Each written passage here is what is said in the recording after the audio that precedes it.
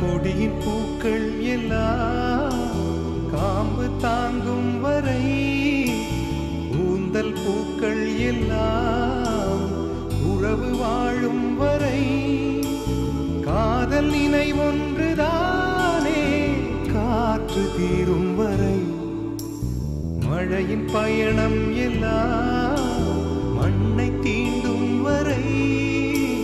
படகின் பயணம் எல்லாம்